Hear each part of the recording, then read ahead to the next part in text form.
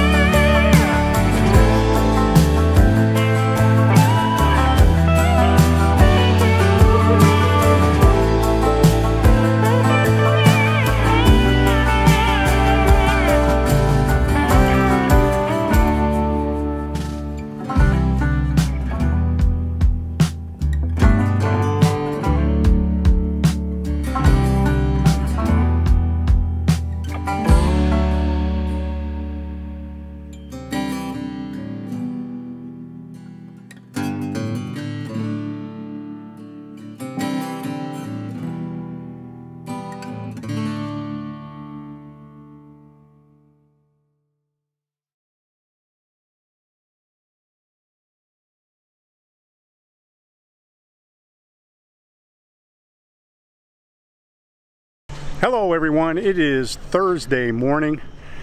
The guys are still here working on finishing up the landscaping, getting all the plants in and prepping for the sod. The sod will be in tomorrow and if we don't get rained out, hopefully they'll get the sod all placed tomorrow in time for the weekend rains coming up from the Gulf uh, because of the Hurricane Delta. So that would be great to get it rained in. That would be, I think, a really good thing for all the plants. So, and we're gonna get that. So it's just whether we get the sod in or not. We got the uh, window cleaners here today. That's the last thing that uh, people have to get in the house for. So they're in there right now cleaning the inside. They'll also clean the outside. There'll be some work after that to uh, kind of clean up the paint on the outside and pressure wash everything, the driveways and the sidewalks, the patios. That'll all get done after the sod because I think they're gonna make a bit of a mess when they bring the sod in. But uh, it's all looking good. Gonna be kind of a short visit today. I have an 11.50 tee time. It's been absolutely drop dead gorgeous for the last two days and of course today it's overcast. so, but it's still gonna be warm and, and nice and so I'm gonna get out and play a little golf. So that'll be it for today. Uh, be back tomorrow.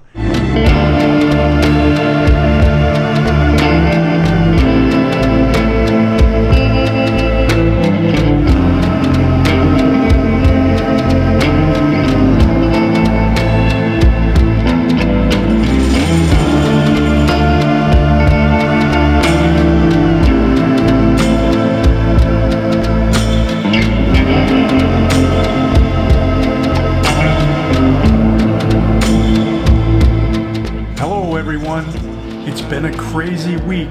We've gotten so much done.